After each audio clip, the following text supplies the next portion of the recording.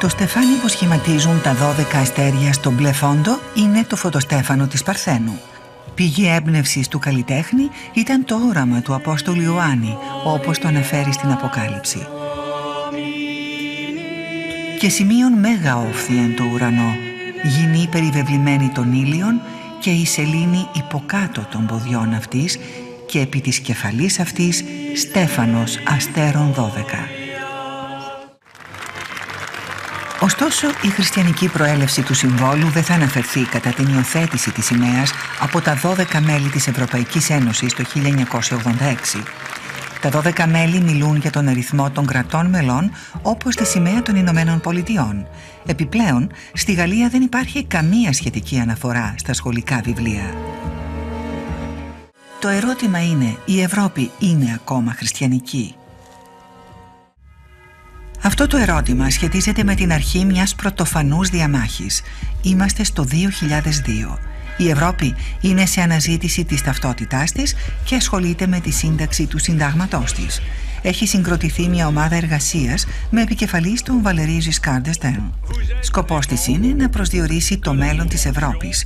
Με την αρχή της συζήτησης, τα χριστιανικά πολιτικά κόμματα ξεκαθαρίζουν τη θέση τους. Ζητούν να αναγράφεται σαφώς στο προήμιο του Ευρωσυντάγματος ο όρος χριστιανική κληρονομιά της Ευρώπης. Es ist eben ein Unterschied, ob ich der Meinung bin, dass ein Mensch eine Anhäufung von Zellen ist oder ob ich glaube, der Mensch ist ein Kind Gottes mit Rechten, die ihm Gott gegeben hat und die ihm der Mensch nicht wegnehmen darf. Das ist schon allein die Menschenrechtskonzeption eine, eine eigene. Und von daher spielt das eine größere Rolle als früher. Früher war Europapolitik oft rein technisch, ökonomisch. Und jetzt ist Europapolitik äh, zuständig für fundamentale Fragen. Und das berührt natürlich auch zunehmend die religiösen Themen. Vous ne trompez pas, la religion, c'est de la nitroglycérine. Hein. La religion, qu'on y adhère ou qu'on la rejette, c'est des mouvements extrêmement violents de l'âme. Euh, il y a des millions de gens qui seraient prêts à se faire tuer pour que leur foi soit respectée. Das jüdische Abgeordnete, das muslimische Abgeordnete oder auch Gremien ganz positiv und wollten im Vertrag die Verantwortung vor Gott und den Menschen, so wie das in der deutschen Verfassung steht. Auf der anderen Seite ähm, haben aber dann Liberalere gesagt, gut, das wollen wir nicht, aber wir akzeptieren den Verweis auf die christlichen Wurzeln. Da waren aber dann wieder die Muslime und die Juden eigentlich dagegen, weil sie gesagt haben, da sind wir nicht dabei. Also die hätten die stärkere Formulierung mit dem Bezug auf Gott, die hätten sie akzeptiert. Die war für sie kein Problem. Das Problem war, dann, als nur die christlichen Wurzeln genannt wurden, christlich-jüdischen Wurzeln, dann kamen die Muslime, haben gesagt, sie sind nicht erwähnt. Das war dann umstritten. La loi n'a pas se mêler de reconnaître un passé. C'est affaire d'historien et c'est affaire de conscience.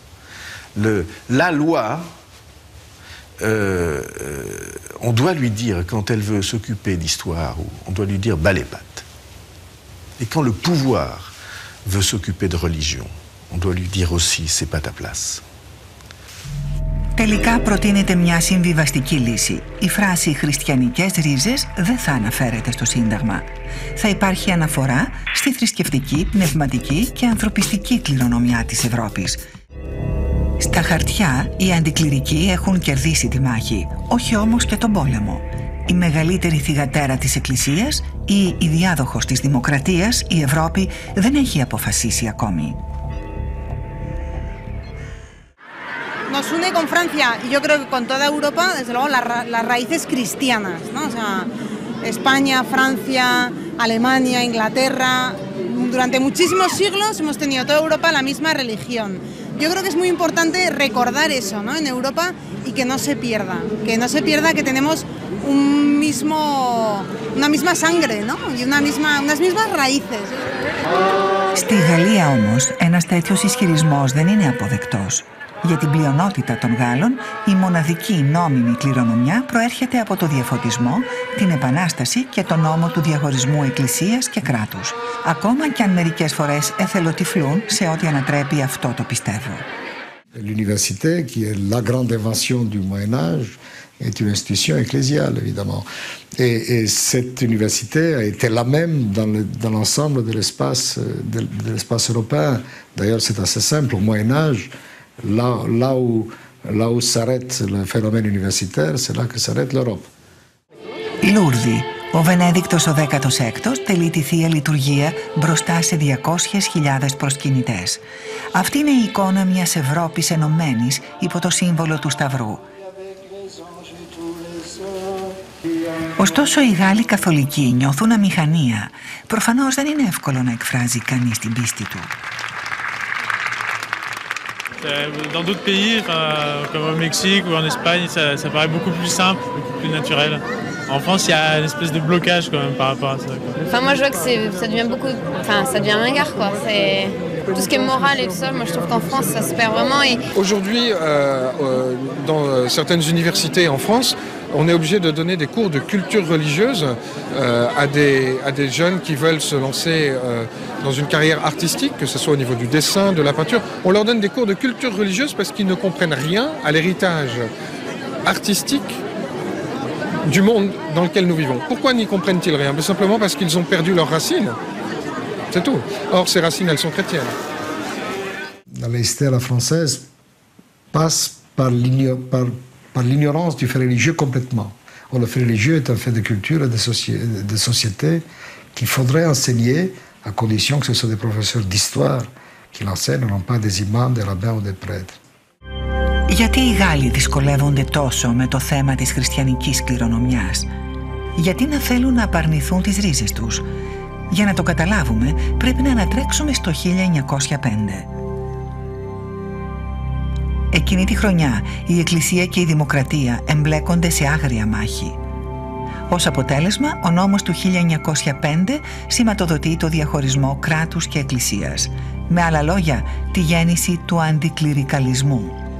Σύμφωνα με τον νόμο, η δημοκρατία διασφαλίζει ελευθερία συνείδησης, εγγυάται την ανεξιθρησκεία, αλλά δεν αναγνωρίζει καμιά συγκεκριμένη θρησκεία. Η θρησκεία πρέπει να περιοριστεί στην Εκκλησία. Έχει αποκλειστεί από τη δημόσια ζωή.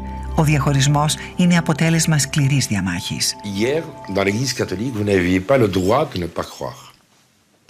Il a fallu se battre à l'intérieur de l'Église, à côté de l'Église, autour de l'Église, pour que l'athée, l'agnostique, soit reconnu et non pas, pardonnez-moi, toléré. Reconnu en tant que tel. Mais ça a été un athéisme de combat. Et ce sont des acquis qui, qui ne sont pas venus en douceur ou d'une manière naturelle. Ce n'est pas une progression lente, c'est une progression brutale. Les gens ont été décapités pour ça. Donc il y a eu, il y a eu vraiment des, des violences euh, énormes pour instituer ce bien-là commun qui est la laïcité. Ένα παράδειγμα της προαναφερθήσας βίας είναι ότι οι 30.000 ιερείς αυτοεξορίστηκαν για να συνεχίσουν να διδάσκουν. Όσοι μένουν είναι υποχρεωμένοι να απαρνηθούν τον όρκο και το σχήμα τους. Όταν σήμερα μιλάς για τη θρησκεία στη Γαλλία, κινδυνεύεις να σε υποπτευθούν. Πέρα από αυτό το πρώτο ταμπού υπάρχει ένα δεύτερο που είναι πιο πρόσφατο. Ο Ισλαμισμός, η δεύτερη θρησκεία στη Γαλλία. Η απέτηση να αναγνωριστούν επίσημα οι χριστιανικές ρίζες της Ευρώπης ρίχνει λάδι στη φωτιά και όχι μόνο για τους μουσουλμάνους. Προκειμένου να κατανοήσουμε αυτό το ταμπού, ας ανατρέξουμε σε εκείνη την απίστευτη αντίφαση.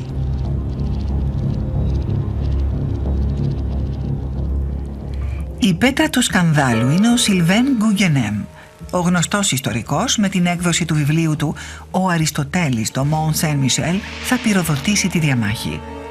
Πολλοί ιστορικοί πιστεύουν ότι η κληρονομιά του αρχαίου ελληνικού πολιτισμού, το θεμέλιο του σύγχρονου πολιτισμού μας, έχει παραδοθεί μέσω μεταφράσεων του αραβο-μουσουλμανικού κόσμου. Στο βιβλίο του όμως ο Γκούγκενέμα αμφισβητεί αυτή την άποψη.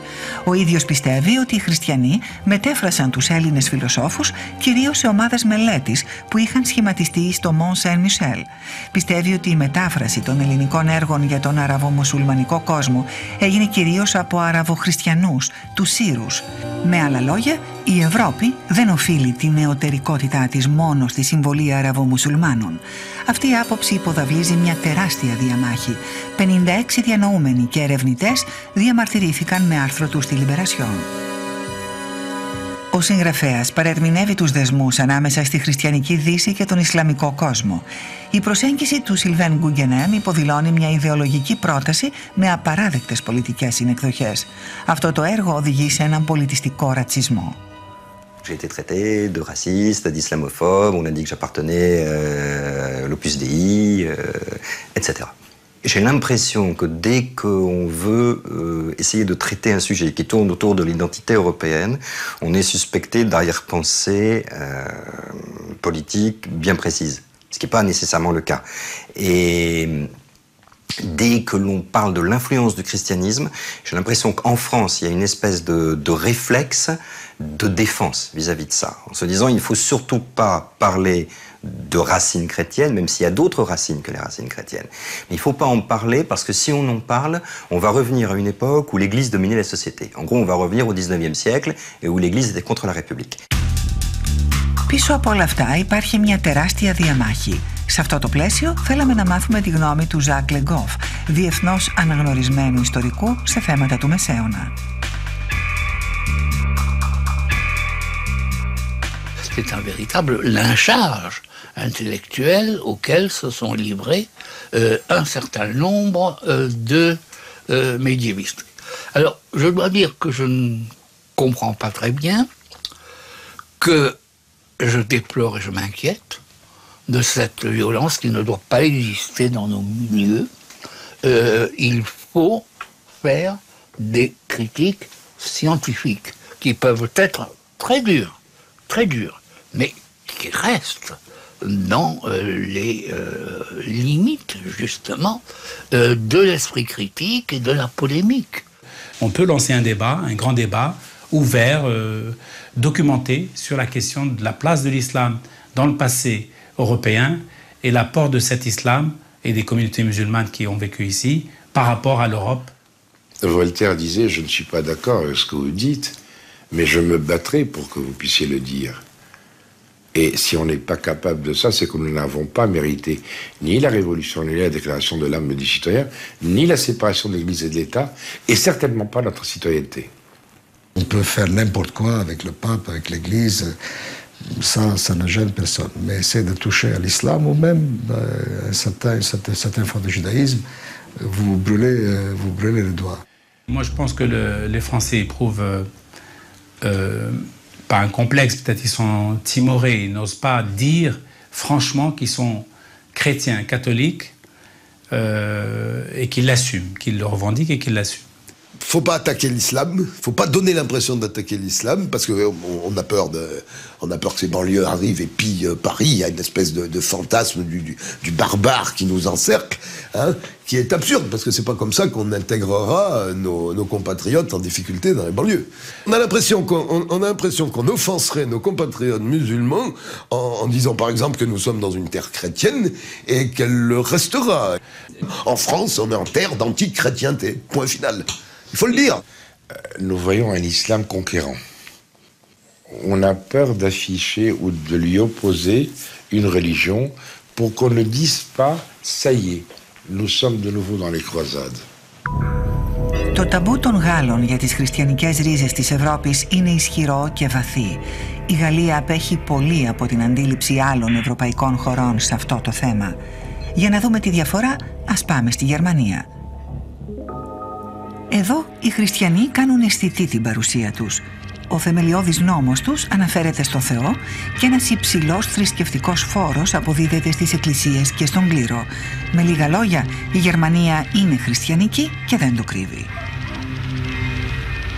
Και ιδίως η Βαβαρία. Εδώ είναι δύσκολο να αγνοήσεις την επιρροή της θρησκείας. Παντού υπάρχει ο εσταυρωμένος, ακόμα και στις τάξεις των δημόσιων σχολείων.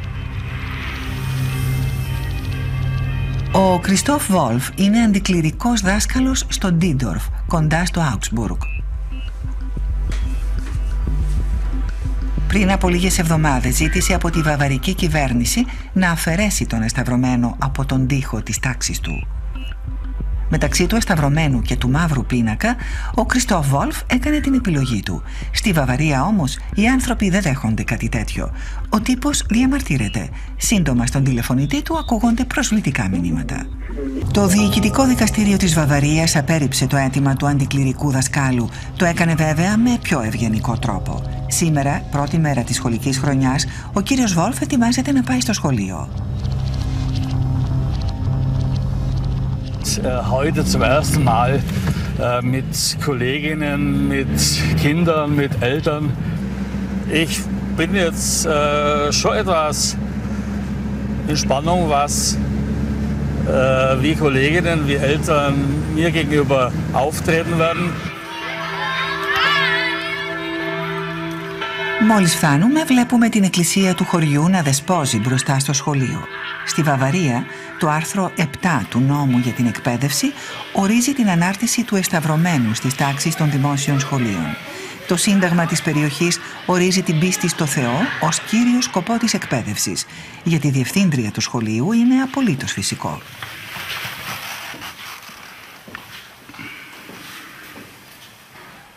Der Religionsunterricht ist Pflichtunterricht und Vorrückungsfach in Bayern. Äh, der Religionsunterricht ist so aufgebaut, dass wir in der Grundschule äh, zwei bis drei Stunden pro Woche evangelischen und katholischen Religionsunterricht haben. Für bekenntnislose Kinder ist ein Ethikunterricht eingerichtet. Αν είσαι Γάλλος, σίγουρα θα εκπλαγείς με αυτά που συμβαίνουν στη Βαβαρία. Ωστόσο, κι αλλού στην Ευρώπη, όπως στην Πολωνία, στην Ιταλία ή στην Ισπανία, συμβαίνει κάτι αντίστοιχο με αυτό που μόλις είδαμε στη Γερμανία και όχι κάτι αντίστοιχο του γαλλικού αντικληρικαλισμού. Για να βεβαιωθούμε, ας πάμε στις Βρυξέλλες. Εδώ κάθε μέρα στις 8 το πρωί, χιλιάδες Ευρωπαίοι δημόσιοι υπάλληλοι γεμίζουν τα γραφεία 70 κτηρίων και εργάζονται για την επίτευξη του οράματος της Ευρωπαϊκής Ένωσης. Πριν όμως βρεθούν στον τόπο εργασίας τους, κάποιοι σταματούν σε αυτό το παρεκκλήσι που βρίσκεται ανάμεσα στο Ευρωπαϊκό Συμβούλιο και στο Ευρωπαϊκό Κοινοβούλιο. Ως εδώ δεν υπάρχει τίποτε το συγκλονιστικό. Μόνο που αν περιμένουμε λίγο θα διαπιστώσουμε ότι αυτός ο τόπος θρησκευτικής λατρείας αναμειγνύει παράδοξα την πολιτική με τη θρησκεία. Αυτοί οι κοινοβουλευτικοί υπάλληλοι, οι ευρωβουλευτές και άλλα μέλη της Κομισιόν λένε περίεργες προσευχές.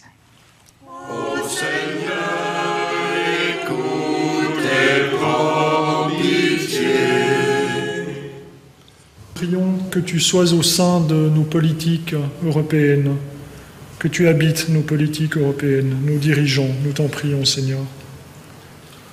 Ô Seigneur.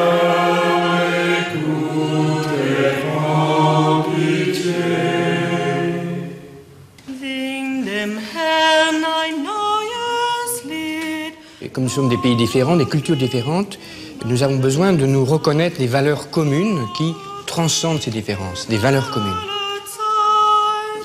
Le développement de l'Union européenne est basé sur une vue très étroite des besoins humains, c'est-à-dire sur une vue à très court terme, et bon ce qui nous apporte un plus. D'ailleurs, souvent, la, la manière de présenter l'Europe par beaucoup de dirigeants, c'est de dire regardez ce qu'elle vous apporte. Mais ils ne disent pas voyez ce qu'elle est et ce qu'elle nous invite à être. Et que la paix de Dieu qui surpasse tout sentiment garde nos cœurs et nos esprits dans le Christ Jésus, à la gloire de Dieu, notre Père.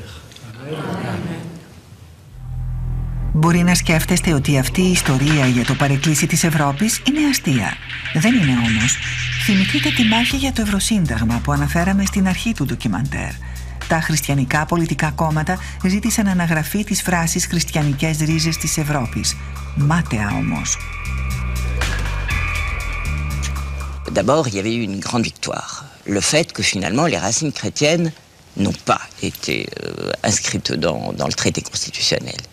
Mais bon, le combat n'est pas terminé parce qu'on en reparle tout le temps pour le moment. Madame Merkel vient ici, elle dit écoutez, euh, le, les racines chrétiennes ne sont pas dans, dans, le traité, mais moi personnellement, je pense que euh, l'Europe a des racines chrétiennes. Εν τούτης, όσοι αγωνίζονται για τη θρησκευτική ταυτότητα της Ευρώπης δεν έχουν παραδώσει τα όπλα. Τα χριστιανικά πολιτικά κόμματα και οι θρησκευτικές οργανώσεις είναι παρόντα και δραστήρια. Στις Βρυξέλλες διεξάγεται ένας πραγματικός πόλεμος επιρροής. Προς το παρόν δεν είναι ακόμα σίγουρο ότι θα κερδίσουν οι αριστεροί. Η πραγματικότητα είναι ότι οι ευρωπαϊκοί οργανισμοί αφιερώνουν πολλές συναντήσεις και συζητήσεις με χριστιανικές ομάδες άσκησης πίεσης και άλλες θρησκευτικές οργανώσεις. Γεύματα, συνεδριάσεις, συσκέψεις, ακόμα και συνομιλίες με ευρωβουλευτές. On a depuis des théologiens qui, veillent, qui viennent prêcher la bonne parole euh, à des, vraiment euh, une extrême droite euh, lobbyiste, euh, religieuse et nationaliste qui est infréquentable. Η επιστροφή της θρησκείας στην Ευρώπη είναι γεγονός. Συμπίπτει με την είσοδο στην Ευρωπαϊκή Ένωση των 10 ανατολικοευρωπαϊκών χωρών, όπου οι χριστιανικές αρχές έχουν αντικαταστήσει την κομμουνιστική ιδεολογία. On avait beaucoup de députés qui arrivaient, qui étaient chauffés à blanc, parce que le rôle de, l'Église chez eux euh, avait été important. Et je prends par exemple les, Polonais. Donc ces pays sont arrivés mais bardés et, revendicatifs. Et donc on a eu des morceaux d'anthologie. Madame Krupa, qui est une, députée polonaise, qui est incroyable, nous a fait euh, un jour un numéro euh, à propos de l'avortement au Parlement qu'on en ouvrait des yeux comme des loups. Mon Dieu, c'est pas possible, on n'a jamais entendu ça. Bardzo szanowny panie przewodniczący, szanowni parlamentarzyści, przede wszystkim chcę podziękować panu Bogu, że dane mi jest w Parlamencie Europejskim mówić o najważniejszym współcześnie temacie obrony życia, szczególnie w sytuacji, gdy co roku dokonywanych jest ponad 50 milionów zabójstw dzieci w łonach ich matek, co jest znacznie większym ludobójstwem niż miliony ofiar Holokaustu.